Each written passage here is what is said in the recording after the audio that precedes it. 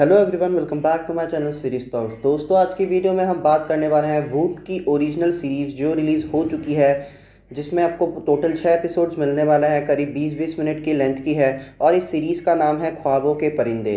जी हाँ दोस्तों कंफ्यूज मत होइएगा, क्योंकि ख्वाबों के परिंदे एक सॉन्ग का भी नाम है, ज़िंदगी ना मिलेगी दोबारा से। जी हाँ दोस्तों, ज़िंदगी ना मिलेगी दोबारा आपको याद ही होगा।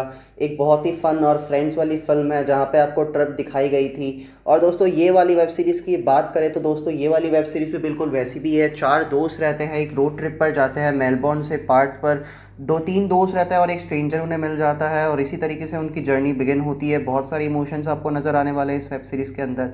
ज़्यादा स्टोरी के बारे में और स्पॉयलर्स नहीं देने वाला, लेकिन आप समझ ही गए होंगे कहीं ना कहीं ना कि ये जो स्टोरी है, कहीं ना कहीं ज़िंदगी ना मिलेगी, दोबारा की तरह सिमिलर है और वही ट्रिप से रिलेटेड है, दोस्तों से रिलेटेड है। काफ़ी इमोशंस और काफ़ी ड्रामा और काफ़ी फ़न भी नज़र आने वाला है आपको। आपको ये बता देता हूँ कि इस सीरीज़ के अंदर आपको बेसिकली चार इंपॉर्टेंट कैरेक्टर्स नज़र आने वाले हैं, जिनका लीड रोल है और उनके नाम है दीक्षित मेघा बिंदिया और आकाश। जी हाँ दोस्तों, दो लड़के और दो लड़कियाँ रहती है, वो लोग रोड ट्रिप पर जाते हैं और काफ़ी ज़्यादा ड्रामा और काफ़ी ज़्यादा अच्छा दिखाया गया है आपको इस वेब सीरीज़ में। वेब सीरीज़ ज़्यादा लंबी नहीं है, जैसा आपको बता दिया छः ही एपिसोड है, सिर्फ़ बीस बीस मिनट के। आप इसे जल्द से जल्द देख कर ख़त्म कर सकते हैं। आपको बहुत ज़्यादा अच्छा लगने वाला है। सीरीज़ आपको फ्री में मिल जाएगा वोट पर देखने के लिए स्ट्रीम हो रही है, आप जाकर वहाँ पर आराम से देख सकते हैं। कास्ट के बारे में बात करें तो बहुत ही नए नए एक्टर्स और एक्ट्रेसेस को कास्ट किया गया और उनकी परफॉर्मेंस काफ़ी डिसेंट थी। ये सीरीज़ में आपको काफ़ी ज़्यादा इमोशंस भी आने वाला है। जैसे मैंने आपको बता दिया, दोस्तों के बीच में झगड़े और भी काफ़ी चीज़ें नज़र आने वाली है जो डे टू डे रियलिटी में भी होती है और वो चीज़ को आप डेफिनेटली रिलेट भी कर सकेंगे।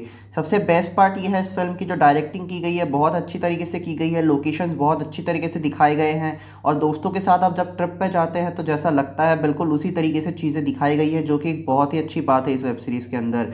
दूसरी चीज़ बात करें तो इस वेब सीरीज़ की सबसे बेस्ट पार्ट मुझे एक ये भी लगी इसकी म्यूज़िक दोस्तों रोड ट्रिप पर जाते वक्त जो उसमें, उस समय पर जो म्यूज़िक की क्वालिटी है, और जो भी चीज़ें हैं ओवरऑल म्यूज़िक क्वालिटी की बात करें तो बहुत ही ज़्यादा शानदार है, और ट्रिप के साथ बिल्कुल मैच कर रही है, और इस वेब सीरीज़ को बेहतरीन बना देती है इसकी म्यूज़िक एक कमी जो मुझे इस वेब सीरीज़ के अंदर नज़र आई वो ये है कि इस वेब सीरीज़ की स्टोरी काफ़ी ज़्यादा प्रेडिक्टेबल और कुछ ज़्यादा यूनिक नहीं है। आपको पता ही होगा, ऐसे बहुत सारे वेब सीरीज़ है जो ऐसे बने हैं ट्रिप्स के ऊपर, जो फ़ेमस है, जैसे कि ये जवानी है, दीवानी ज़िंदगी ना मिलेगी दोबारा, उस तरह की सिमिलर ही कंसेप्ट है दोस्तों के बीच में तो सब चीज़ें आराम से प्रेडिक्ट कर सकेंगे।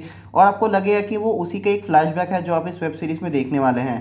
बस यही एक कमी है। इसके अलावा दोस्तों, इस वेब सीरीज़ डिसेंट है, काफ़ी ज़्यादा आप इसे आराम से देख सकते हैं, काफ़ी छोटी भी है, मैंने आपको बता दिया। देख कर ख़त्म कर सकते हैं, आपको शायद अच्छा ही लगने वाला है, क्योंकि मुझे तो एवरेज और अच्छी ही लगी। और आपको रिकमेंड करूँगा कि एक बार आप इसे डेफिनेटली देख सकते हैं। तो बस दोस्तों, ज़्यादा बात ना करते हुए आपसे विदा लेता हूँ और कंक्लूड करते हुए यही कहूँगा कि अगर वीडियो अच्छा लगा तो लाइक और शेयर कर देना कमेंट सेक्शन में लिखकर ज़रूर बता देना कि आपको वेब सीरीज़ कैसी लगी। अगर आपने देख लिया है तो चैनल को सब्सक्राइब करना तो मत भूलना। इसी के साथ जल्द ही मिलते हैं अपने अगले वीडियो में।